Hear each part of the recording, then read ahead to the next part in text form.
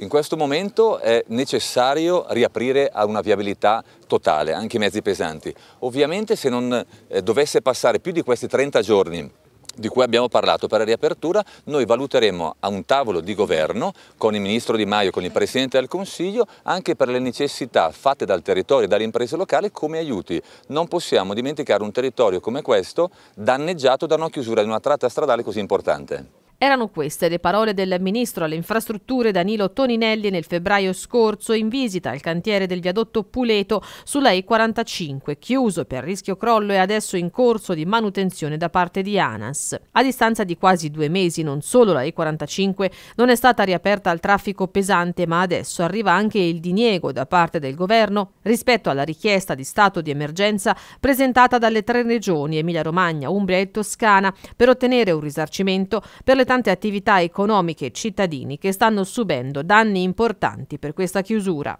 Eh, la richiesta che era stata fatta dalle tre regioni, che tra l'altro si sono fatte carico anche di anticipare un primo intervento nei confronti delle situazioni di maggiore criticità per salvaguardare anche l'occupazione dei dipendenti che rischiavano di perdere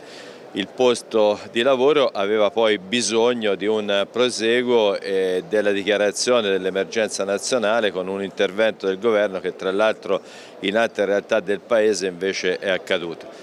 Abbiamo questo diniego e, e, lo abbiamo anche con motivazioni, come dicevo, sorprendenti perché si dice che era forse un evento eh, prevedibile causa la scarsa manutenzione, Beh, è come dire che il Presidente del Consiglio eh, dire, sferra un attacco nei confronti di un suo ministero. Però queste sono questioni che si vedranno loro, eh, noi speriamo anche attraverso l'azione dei parlamentari di tutti gli schieramenti politici e soprattutto quelli che sostengono il governo possa essere recuperata